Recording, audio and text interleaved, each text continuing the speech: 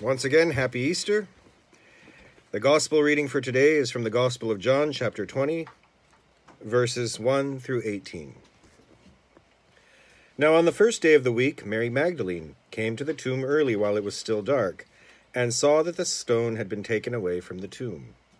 So she ran and went to Simon Peter and the other disciple, the one whom Jesus loved, and said to them, They have taken the Lord out of the tomb, and we do not know where they have laid him. Peter then came out with the other disciple, and they went toward the tomb.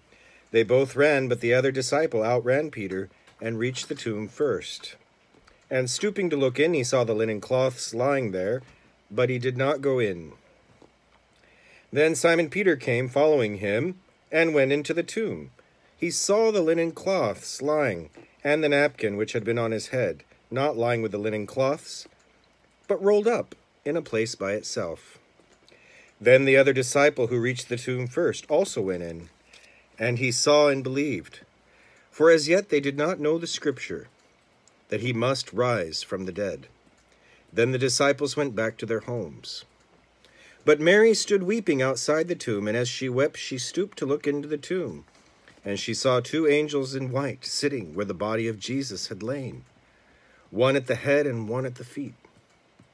They said to her, Woman, why are you weeping?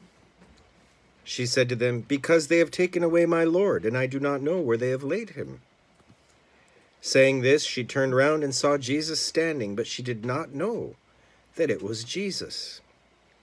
Jesus said to her, Woman, why are you weeping? Whom do you seek? Supposing him to be the gardener, she said to him, Sir, if you have carried him away, tell me where you have laid him, and I will take him away. Jesus said to her, Mary. She turned and said to him in Hebrew, Rabboni, which means teacher. Jesus said to her, Do not hold on to me, for I have not yet ascended to the Father.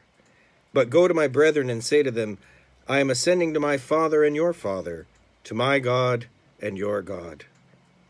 Mary Magdalene went and said to the disciples, I have seen the Lord. And she told them that he had said these things to her. Amen.